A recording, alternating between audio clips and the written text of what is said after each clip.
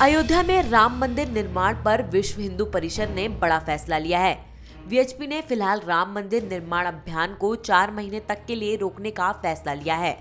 दरअसल वीएचपी आने वाले लोकसभा चुनावों में राम मंदिर को चुनावी मुद्दा बनने देना नहीं चाहती।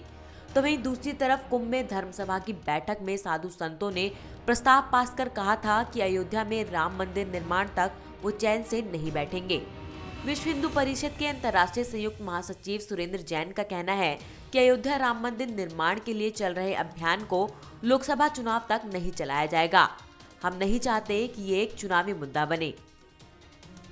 इतना ही नहीं, उन्होंने ये भी कहा कि एक पवित्रता से जुड़ा मुद्दा है। इसे राजनीति से परे रखना चाहिए।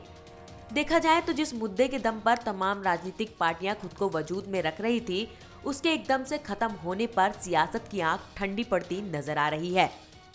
Bureau report, Navodaya Times.